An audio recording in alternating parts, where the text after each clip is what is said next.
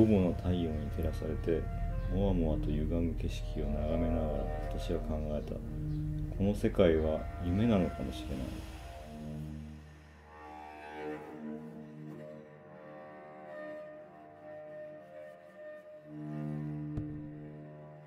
島には至る所に現代美術が置かれ古民家を改造した作品があったり奇妙なオブジェのようなものが道端に置かれていたりした。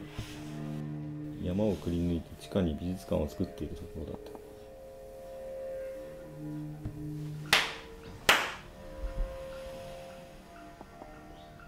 た。だからもういちいちいちこれは何ですかって聞かないかんような感じ。それでもそれなりに感じ何かを感じるものはあるんで。あそれがなかったからちょっと寂しいような。これつまりオーセンティックなものともものすごく近代的なものがもう露骨に可視化されていて。